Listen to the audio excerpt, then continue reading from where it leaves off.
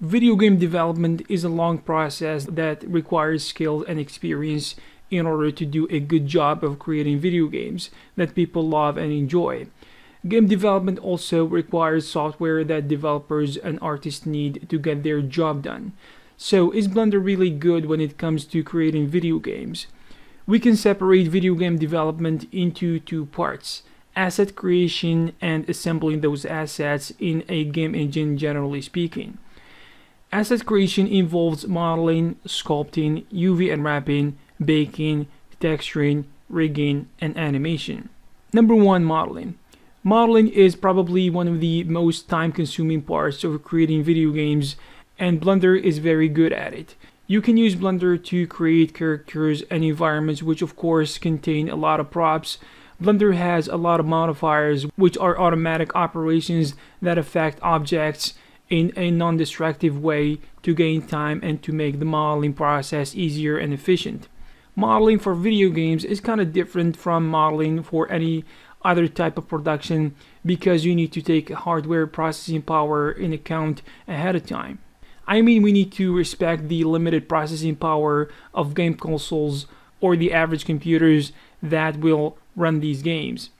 That's why we need to create low poly versions of the highly detailed models to allow us to run video games smoothly in real time. Using Blender, you can model a low poly version based on the high poly you created. And you will be able to make the low poly look like the polished high poly version using special maps that you can create through a process which we call baking that we will talk about later. Blender has a lot of cool modeling add-ons that have been ported to the new versions and it will allow you to take your modeling game to the next level. Among these are Box Cutter, Hard Ops, and Mesh Machine. Number 2 Sculpting.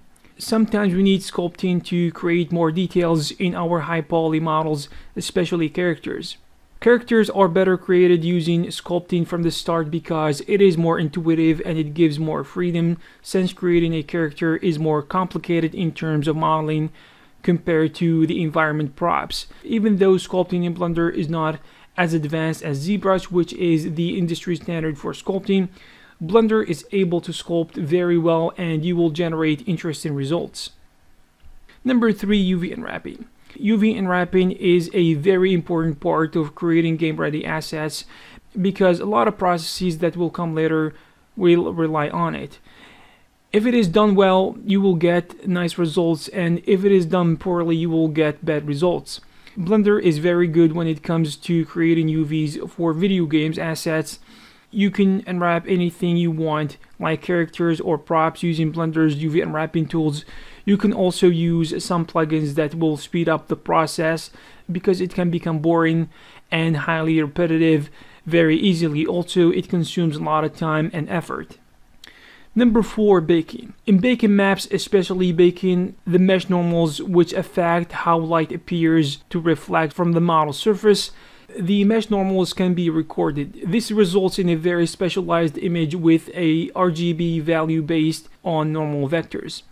Baking requires having the model UV unwrapped so the resulting image is properly fit to the model. In order to perform the baking properly for game ready assets, you need the high poly version and the low poly version placed exactly in the same position in space if we want to have perfect bake. You can do this using Blender just fine, but in game development this process is usually outsourced to another application like Substance Painter, which is an industry standard for baking and texturing game-ready models. Number 5 Texturing. Creating textures for characters and props in the environment is a very important part of the entire process because doing a good job here is going to amplify the result we got in previous stages and doing a poor job here is going to make things look worse overall. Using Blender you can create very good textures for your assets by painting directly on the mesh or by using external textures that you can apply on your models. Also, Blender has real-time render which allows you to see your textures in real time applied on your model or an entire scene for that matter. Number 6. Rigging and Animation. When it comes to rigging and animation, Blender can do an excellent job because it has all the tools necessary for rigging characters and doing character animation. Actually, several short films were created with Blender. Using Blender, you can create animations for characters or anything else that needs to be animated. Then you will export those animations to a game engine. This leads us to the second part of creating a video game that is exporting the assets we created in Blender into a game engine. Blender used to have an actively developed game engine, but due to some problems that developers faced with the Blender engine, they abandoned it to focus on creating and developing more features on other aspects of Blender. Also, one of the reasons that made the Blender engine less popular even among Blender users, is the fact that there are other free to use for commercial purposes and powerful game engines like Unity and Unreal Engine.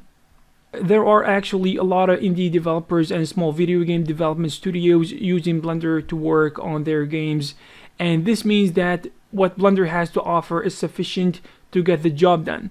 Also, one of the reasons why indie developers use Blender is because it is free and open source, which means that they don't have to spend money on licenses that can add up to tens of thousands of dollars if you have a small team. This is simply an extra expense for small developers that they cannot afford, so Blender is a great option for them. Plus, it can do a great job, so why not? In addition to that, Blender is open source, which means you can create your own tools if you see that this is going to help you get things done better or faster or to create something custom tailored to your specific needs. In recent years, especially with the Blender 2.8 release and beyond, medium-sized studios are starting to use Blender even though it is limited to a certain extent. I mean, they use it to work on some part of the production because there are artists in the studio that prefer to use Blender or because Blender is better or faster at a particular job. Recently, studios are using Blender to work on game cinematics or to create characters, which show that it is being regarded as an important tool for video game development. But Blender at this point is not used when it comes to AAA video game development studios, meaning it is not industry standard yet, because this might take a few years depending on what direction the Blender Foundation wants to take from now on.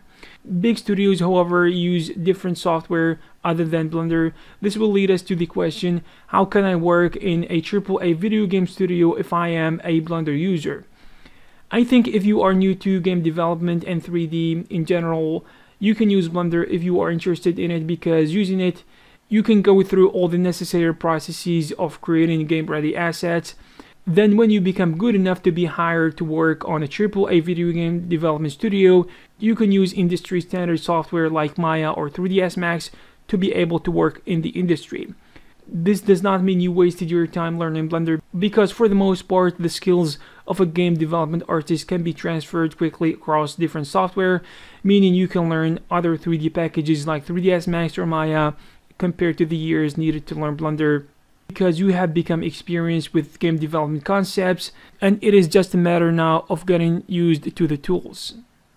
The takeaway from this video is yes, Blender is good for game development because it has all the tools necessary or needed to create video games. What Blender has to offer now is much better because there are a lot of good features that have been added recently to make game development easier and faster and this brought the attention of game developers to it lately. But like any other tool of game development, being able to use Blender will take time, effort, and patience. It might take you years to be able to use it fully to create amazing results. You can create your own games using Blender.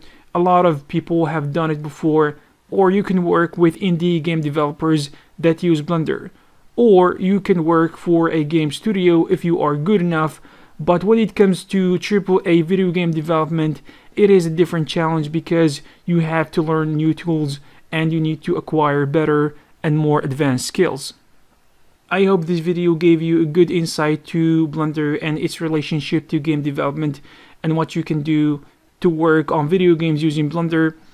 If you have something to add, please leave it in the comment section below. Also, give this video a like if you liked it and you can check some of our previous videos. Thank you very much, and I'll see you in the next one.